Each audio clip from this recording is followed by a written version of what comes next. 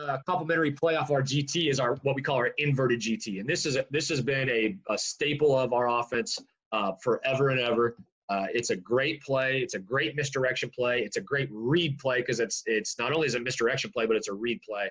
Um, and all we're doing is we're making our quarterback the dive player or the counter player, and we're making our running back now the keep perimeter player. So we're reading the end just like we normally would. If the end comes up field and chases that back across the face flow, quarterback's going to disconnect and he's going to pull it and run GT. If that defensive end is disciplined and taught to get in the tackle's hip pocket, now the quarterback's going to hand this ball off and we are blocking perimeter run on the outside. So we're teaching these guys by rule that they are blocking perimeter run. We're trying to get this ball outside and go. Okay.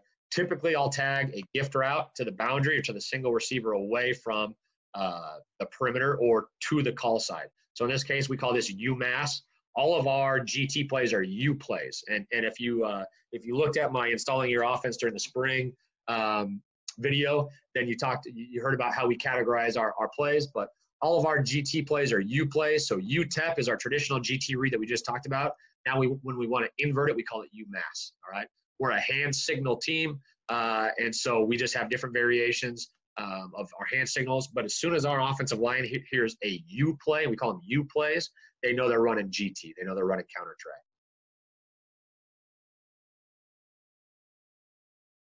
Okay, so we've got perimeter blocking over here. We're reading the end man on the line of scrimmage. This guy right here, flat mesh. We want this guy to come flat across quarterback space. He can lose a little bit of ground to gain ground. If the defensive end comes upfield, slow plays, chases at all, the quarterback's going to disconnect and he's running the GT. Okay. Really, really good play for an athletic quarterback. Uh, we've had a lot of quarterbacks run for a lot of yards running this scheme. Okay. Same look at a two backs. We're running GT to the to the boundary. We're pulling two. Same rules apply. We're reading the end man on the line of scrimmage right here. If he comes upfield and, and you can see these guys, even though they're taught to get in the tackle's hip pocket, that running back flashing across their face really makes it a difficult uh, play for the defensive end to stay disciplined. If he comes up, disconnects it all, quarterback's going to tuck it and run. Okay. Odd stack team, 3 3 stack team. Again, I talked about how we like to run this play to a three man surface. So now we're, we've got a nub tight end to the boundary. All right. Uh, we're running the perimeter towards the bottom of the field. And this, they have a perfect blitz call here. They're running double edge pressure. We're going full down. So we're blocking back to that four eye. They have two off the edge. They've got one guy to tackle dive. They've got one guy to play perimeter. But what happens is that first guy off the edge, he sees that back flash across his face and he just can't help himself. All he needs to do right here is just stay disciplined and he makes a play. But that that back across the face really screws with these guys and the quarterback gets it. We've got some extra numbers now here. Double team between the tight end and tackle. I'd like to see that a little bit more of a push. We're kicking the end man on line scrimmage right now, which ends up being that corner that crashes. And we're getting this thing up and going. Okay. I'd like to see our backside tackle scan inside out. Scan inside out. So you see, he sees a threat. He thinks this guy's more dangerous than this guy. He's going to peel back and pick him up.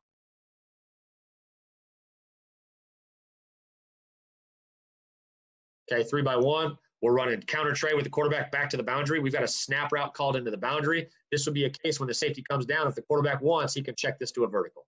Okay? This would be a scenario where he can check it to a vertical. Great misdirection play. Three four team right here. Three or yeah, uh, that's maybe a four two right here. Center's blocking back, A gap to B gap. We got a deuce front side to the stack. And I'd like to see our backside tackle scan inside out. If there's nothing inside, get your eyes scanned out. One more time from the top.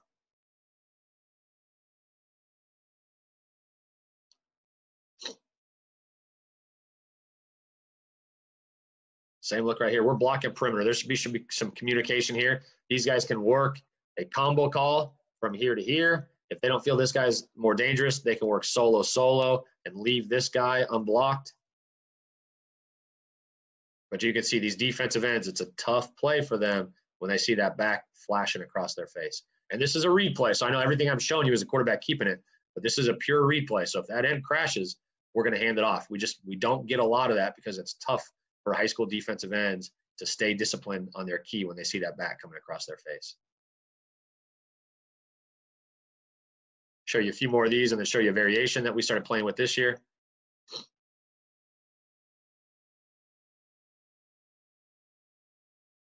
Okay, here's a snap route into the boundary.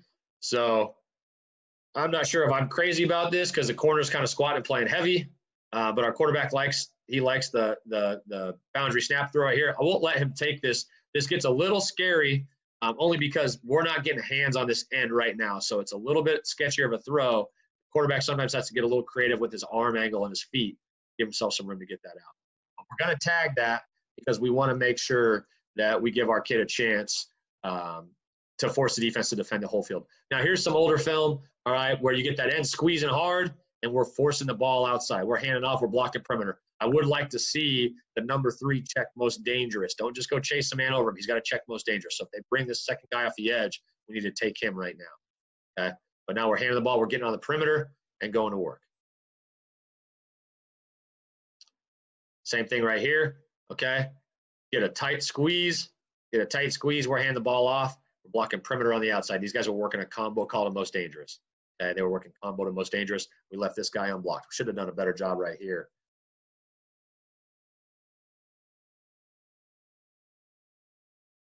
Okay. And then one thing that we started doing this year, and I'm going to show you one cut up of it, is this guy right here is pretty special 10, 10, 10 400 meter guy uh, that uh, we wanted to get the ball to him. And so we started doing same side as the read. So we're putting the back on the same side. Now the quarterback's going to open up, and he's the, the running back on the snap is going to jab step, and he's going to open up and get into that pitch phase or get into that toss phase.